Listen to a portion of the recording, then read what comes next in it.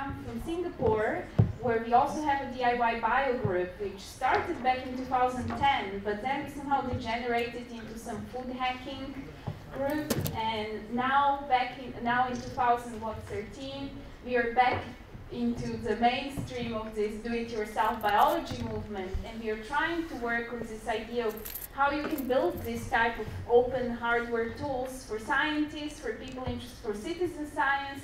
That means amateurs like I am, and allow and you know allow people to do science as and I was very sympathetic to the call before allow people to understand science so they're not afraid but also they don't let big companies like Monsanto or some other evil corporation take over all the research and development in this field.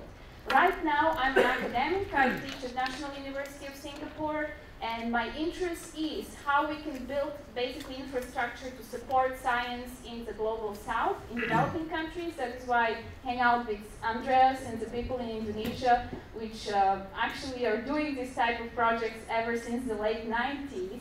And only in 2010, when I visited Boston for the first time and I saw the emerging DIY bio movement in the States, I finally understood what you guys in Indonesia were doing all the time.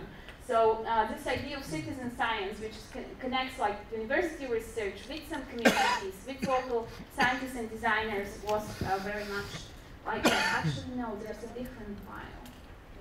Yeah, it's open antibiotics. So what I will show now is just a few examples of uh, such prototypes that uh, I'm interested in because I recently became also uh, collector. So I'm a member of some communities. First Hackteria, which is open uh, open source biology community. I'm also a member of a hackerspace in Prague, in Czech Republic, where I'm originally from, and I'm a supporter of Hackademia. And we have Silver William here from Singapore, who is the main Hackademia guy, which is this like hackerspace type of workshops for kids. Anyway, my interest, very shortly, it's basically open science advocacy, citizen science advocacy, how to support research and development in the global south.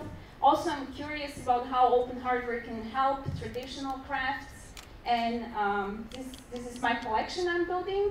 This is like a mobile genetic lab where there are tools which uh, Shingo just, just showed, like an open PCB um, tool. This is made by my friend, friends from Hackteria in Switzerland. We are showing it now around the world. This is another tool. It's a genet, uh, gene gun, it's called, which basically allows you to do this type of DIY synthetic, uh, like modify a DNA of a plant in a mechanical way rather than chemical way. I will not go into, into the details just to show you some funny prototypes. This is something that Hackteria is working with the guys in Indonesia. It's a turbidity sensor which allows you to do some simple experiments with, with water and uh, liquids.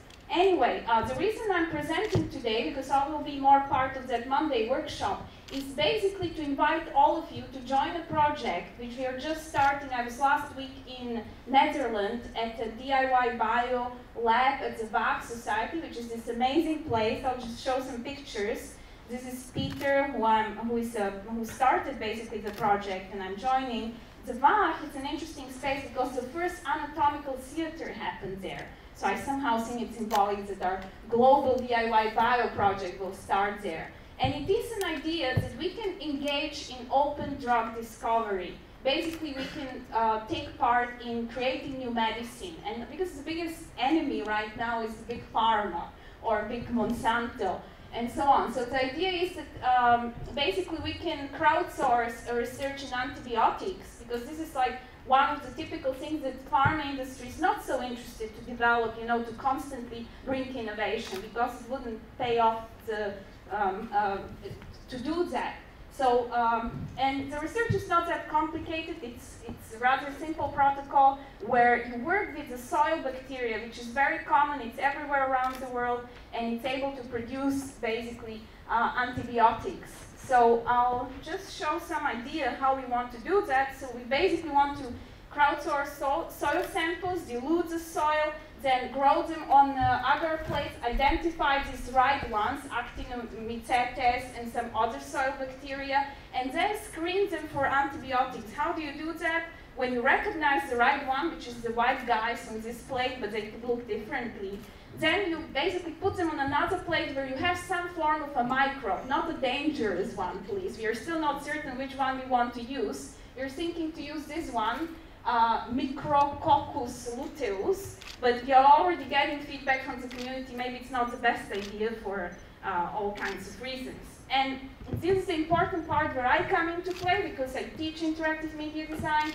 and I'm interested how can we gamify, how we can create a game around this experience with agar plates. I'm very happy all these bacteria interest here, guys. I hope you join us and help us. The idea is basically that the zone of inhibition where the antibiotics eats the evil bacteria can show how, how strong is the given, uh, given bacteria.